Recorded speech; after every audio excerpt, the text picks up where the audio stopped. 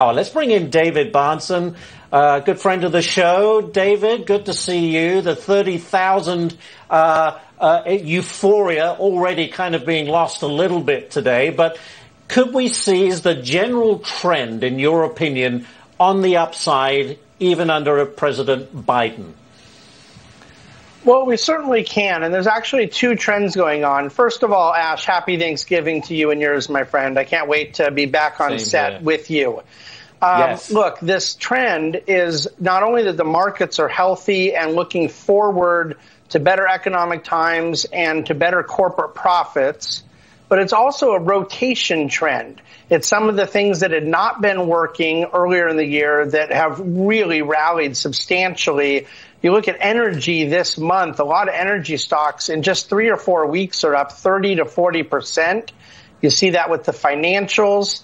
So this is the thing where I hate it for my partisan friends. I know a lot of people on the right want me to say a market can't do well under Biden and a lot of people on the left mm. wanted to believe it couldn't do well under Trump.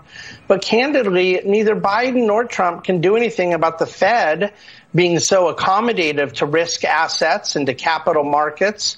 And no politician can do anything about the self-interest that drives the profit motive and makes our free enterprise right, system the beautiful thing that it is.